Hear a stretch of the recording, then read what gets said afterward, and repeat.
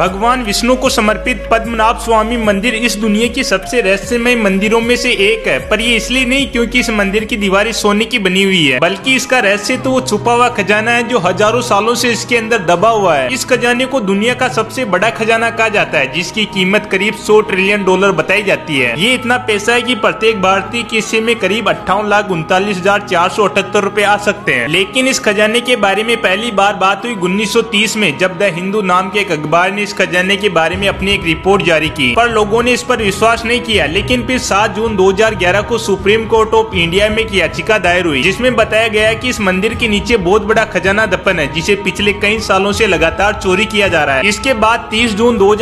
को रिसर्चर्स की टीम द्वारा यहाँ छह तहखानों को ढूंढा गया जिनमें ऐसी पाँच तहखानों को उसी टाइम खोल लिया गया एक रिपोर्ट के हिसाब से केवल तहखाने ए से दस हजार टन सोना निकला लेकिन वोल्ट बी को अभी तक नहीं खोला गया और ये भी कहा जाता है कि खरबों डॉलर सफर के इस खजाने का सबसे बड़ा हिस्सा इसी तहखाने में है आगे की कहानी जानने के लिए टॉप कमेंट्स के लिंक पर क्लिक करें